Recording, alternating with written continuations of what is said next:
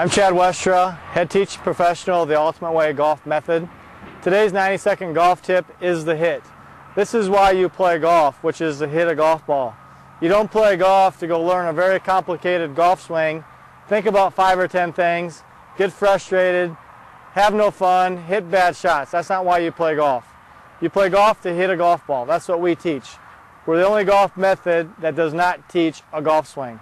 So, as you've seen our previous tip, the takeaway we, we refer to as number one. This is the takeaway. This is one. The hit in golf occurs here. The hands rotate, the club face rotates back to a toe-up position at waist high. This is four, this is the hit. This is why you're playing golf, one and four. If you learn the hit in golf and you take the hit higher and higher, it looks like a golf swing, but all you're doing is hitting a golf ball. That's it. You're not learning of a complicated golf swing.